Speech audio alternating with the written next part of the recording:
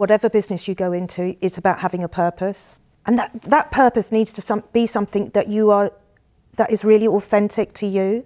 Having a USP that really sets you apart from the competition, I think is really important. That's something we've always done. We don't want to be a me too.